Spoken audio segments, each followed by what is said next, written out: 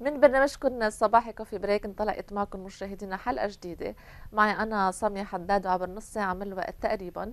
بتشارك أنا وياكم عدة فقرات من health celebrities general knowledge around the world مشاهدينا اليوم حلقتنا مميزة بما إنه هالحلقة رح تنعرض بمقربة من عدة مناسبات فهالحلقة رح تتضمن أخبار عن كل هدول المناسبات يلي هن عيد مار يوسف وعيد الطفل وأكيد عيد الأمهات.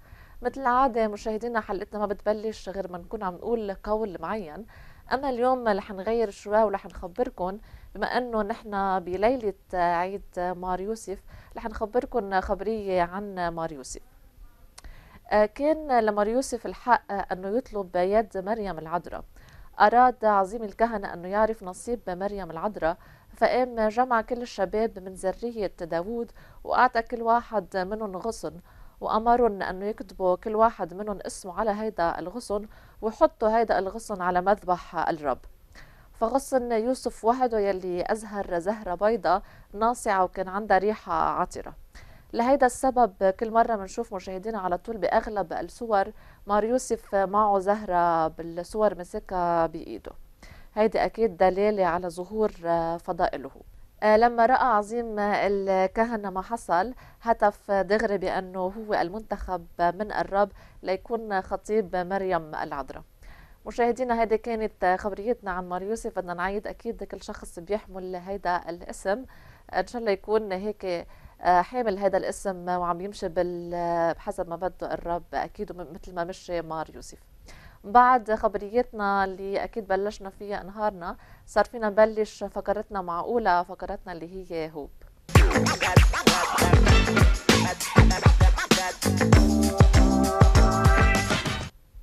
مشاهدينا فقرة هوب كل مرة بنخبركم فيها عن شخص ولد بطريقة مختلفة عنا أو عن شخص حصل معه إصابة معينة وتخطى هذا الإصابة لحتى نحن ناخد من وراء أمل لأن نحن بمجرد اخترنا الأمل كل شيء ممكن. بمناسبة عيد الأمهات اليوم فقرتنا هيك رح تكون مميزة ومختلفة ورح نخبركم فيها عن أكثر شخص بيعطينا فيها أمل بالحياة وبيعطيني بالأخص لإلي أكثر شيء أمل يلي هو الأم. مين أكثر من الأم نحن بناخد منه الأمل بحياتنا اليومية؟ عيد الأمهات يلي بيساقي ب 21 أدار بدي استغل هيدا المنبر لكون عم بحكي عن أكثر شخصية مثل ما ذكرت اخذت من وراها أمل وكلنا بناخذ من وراها أمل. هيدي الشخصية آه، اخذت أخذت من وراها أكيد أكبر أمل من كل الأمال اللي أخذتهم أكيد من كل الفقرات اللي قبل. هالشخصية هي نقطة ضعفي وما في أتخيل حياتها حياتي ولا لحظة من دونها؟ هي اللي جابتني على الحياة ورافقتني بكل مراحل حياتي وبعدها عم ترافقني تعمل كل شيء لحتى ولو مش بقدرتها الجسدية النفسية أو المادية بس لحتى أكون أنا مرتاحة. أه هالشخصية هي أقرب شخص لإلي؟ يعني فيني أعتبرها حتى أعز صديق لإلي وحتى أقرب من رفيقتي. أكيد مين عم نحكي عن غير عن الأم؟ آه، يلي بسبب الأم أكيد نحن كلنا محل ما نحن وصلنا لإله. هي اللي بتشجعنا على طول وبتقلنا شو نعمل. فمن هذا المنبر بدي اوجه تحية وعايد أمي اللي هي كارولين. وبدي أقول لها إنه ما في كلمات تعبر عن شكري وعن كل شيء عملته وعن تقديري لكل شيء عملته وبعدها عم تعمله كرمالي لهلأ. كرمال هيك قررت إنه فرجاها وعايدها عبر هذا المنبر وعرف كل شخص عم بيحضرنا على هالشخصية اللي عطيتني كل هيدا الأمل. أكيد بدي أقول لها إنه الله يخلي لي إياك فوق راسك ويخلي مشاهدينا كل اهاليكم فوق راسكم آه الله يطول بعمرهم كلهم ويطول بعمر أمي. وأكيد كل واحد بيتمنى أنه يعمل لأولاده قد نص ما عملوا له اهله حتى يكون عم يعمل شيء منيح.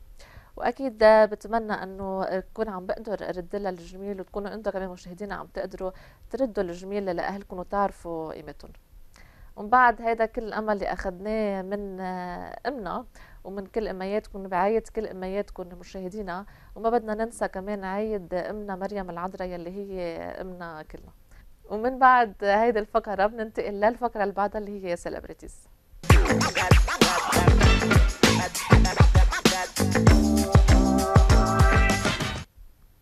مشاهدينا مثل ما ذكرت هيدي الحلقة كلها مليئة بالمناسبات.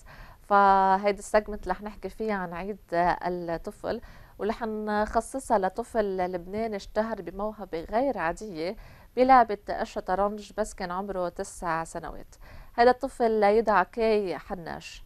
كي نجح بصنع اسم لنفسه ببريطانيا حيث هناك بيعيش مع أهله. احتل كي المرتب الأول ببطولة متخصصة ببريطانيا بفئة اللاعبين ما دون ال 11 سنة والمركز الثالث لفئة مهنة تحت ال 12 سنة. أثار كي ضجة كبيرة على موقع يوتيوب منذ بس ثلاثة أشهر ليش من خلال مقطع فيديو بيظهر فيه وهو عم يربح على اللعبة الأمريكية الكندية المحترفة. حصد هذا الفيديو أكثر من 11 مليون مشاهدة. تمكن الطفل الذي يوصف بالمعجزة من الحصول على تعادل ضد المحارب الدولي الفرنسي مكسيم يلي هو بطل الشطرنج عالميا وقدر أنه يكون عم يغلبه هيدا الطفل. أكد والده ألا لاكي لصحيفة لوريون لوجور أنه كي بيعتبر نجم شطرنج ببريطانيا. وهو تفوق على كل اللاعبين الأقوى والأكبر منه. موضحا إنه بعمر الأربع سنين كي طلب من والده إنه يعلم يعلمه قواعد هيدي اللعبة. وأما بعمر الست سنين أخبر والده إنه بده يفوت ويشارك بالمشاركه بالمسابقات الشطرنج. فبلش الوالد إنه يشتغل على هالموضوع. ومن وقتها لفت الوالد على إنه كي بالسن السابعة شارك بأول مسابقة وطنية له وفاز بالمركز الثالث. من وقتها تأكد الوالد وتأكد الطفل أنه هو بيمتلك موهبة فأصبح بطل ببريطانيا بلعبة الشطرنج بعمر بس التسع سنوات. من بعد هيدي الفقرة من بعد هيدا الطفل يلي ربح بس وهو بعمر ست سنين ربح عالم أكبر منه وأشطر منه بهيدي اللعبة. أكيد نحن بناخد أمل من هيدا الطفل وبنحب أنه كل أولادنا وكل أولاد العالم يوصلوا لهيك مراكز ويكونوا مميزين. ومن بعد هيدي الفقرة بننتقل للفقرة اللي بعدها اللي هي general knowledge.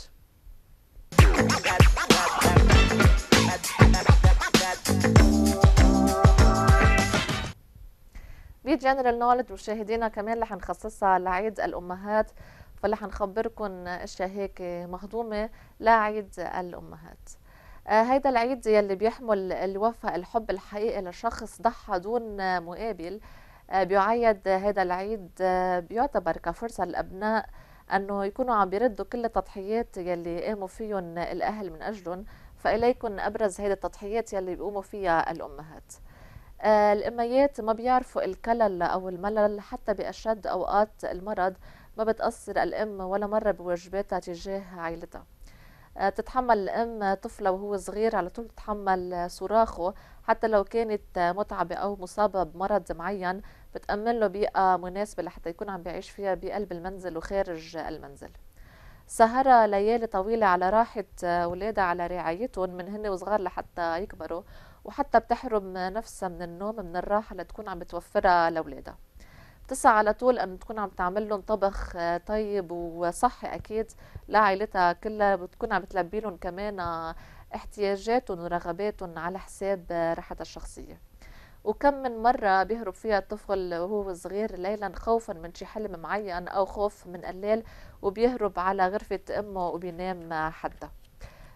هناك أكيد الأم بتتسرع دغري أنه تكون عم بتأمن له الدفء والحنان حتى بوقت ملل أطفالها بتكون الأم معهم لتكون عم بتشاركهم وتساعدهم حتى يكونوا ما عم بيملوا. بتهمل الأم حياتها الشخصية بس كرمال ولادها وعائلتها. ما بتبخل ولا مرة على أولادها بأي شيء حتى لو هيدا كان على اقتطاع مصروفها الشخصي.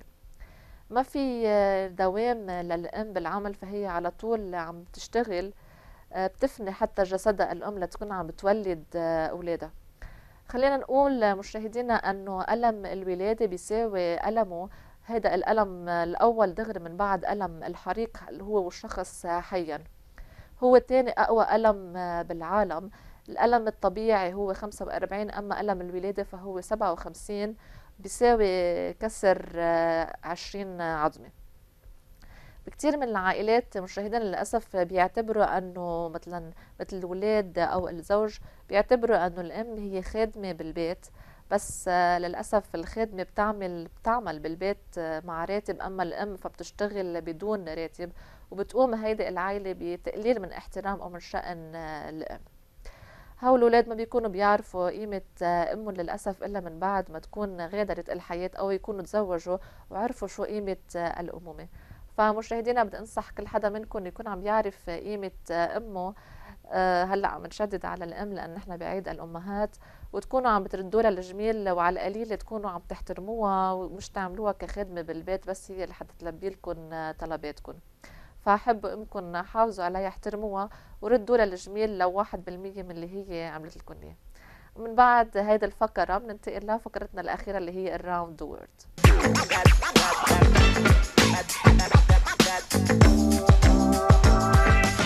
مشاهدينا بهيدي الفقرة كل مرة بروح أنا وياكم بسفرة معينة. أنا من الاستوديو وأنتم من البيت بنسافر أنا وياكم على بلد معين وبنتعرف على كل شيء بخص هيدا البلد. اليوم سفرتنا رح تكون على بلد سريلانكا. سريلانكا واللي هو تسمى سريلانكا مقسومين عن بعضهم. كانت تسمى بهيدي التسمية بين سنة 1948 وسنة 1972 باسم سيلان.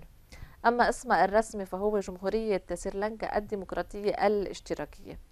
سريلانكا هي دولة جزرية بتقع بشمال المحيط الهندي بجنوب شبه القارة الهندية بجنوب آسيا. لسريلانكا حدود بحرية شمالا مع الهند اللي بتبعد عنا حوالي 31 كيلومتر مع جزر المالديف بجنوب الغربي. سريلانكا دولة ذات إرث حضاري عريق بيمتد عبر ثلاثة ألف سنة. لعبت سريلانكا بفضل موقعها الاستراتيجي بملتقى الطرق البحرية الرئيسية الرابطة بين غرب آسيا وجنوب شرق آسيا. دور مهم دور مهم بطريق الحرير للي يكون عم يوصل بعد الحرب العالمية الثانية. حيث هناك كانت هامة لقوات الحلفاء بالحرب ضد اليابان. حكمت سريلانكا على امتداد 2000 سنة من طرق ممالك محلية محلية ثم احتلت أجزاء منها من طرف البرتغال وهولندا ببداية القرن السادس عشر. قبل ما تكون عم بتسيطر على الإمبراطورية البريطانية على البلد بكامله سنة 1815 نشأت حركة سياسية قومية بأوائل القرن الماضي ونضلت من أجل الحصول على الاستقلال السياسي يلي اجى بسنة 1948 بعد مفاوضات كانت سليمة مع المحتل البريطاني. تميز تاريخ المعاصر بالحرب الأهلية العنيفة اللي امتدت قرابة ربع القرن من 1983 لل 2009 بين متمردين نمور التميل الانفصاليين والجيش السريلانكي واللي انتهت لفائدة الدولة المركزية. تعتبر سريلانكا من المعاقل الأولى للبوذية وفيها كتبت أولى النصوص المعروفة لهيدي الديانة. حاليا هي بلد متعدد الأديان والأعراق واللغات فيها 70% من السكان بدينون بالبوذية والباقي موزعون بين الهندسيون اللي هن 12% المسلمين 10% والكاثوليك اللي هن 6% إضافة إلى التمييل اللي هن 11% يلي تركزوا بشمال وشرق الجزيرة. تتوزع أما الطوائف الأخرى بين العرب التميل والهنود الماليزيين والبورك لا سريلانكا لتكون غيتان رسميتان السنهالية اللي بتحدث بها ثلاث أرباع السكان والتاميلية اللي هن 26% مشاهدينا هيدي كانت برمتنا على بلد سريلانكا اللي هي أخذنا فيها هيك اليوم معلومات عنها مختلفة عن باقي المرات. آه، مشاهدينا الكاب عن شو كانت حلقتنا اليوم. حلقتنا اليوم تميزت آه، بالمناسبات. كان عندنا مناسبة مار يوسف يلي حكينا عنها ليه مار يوسف بأغلب صوره بيحمل هيدي الزهرة البيضاء.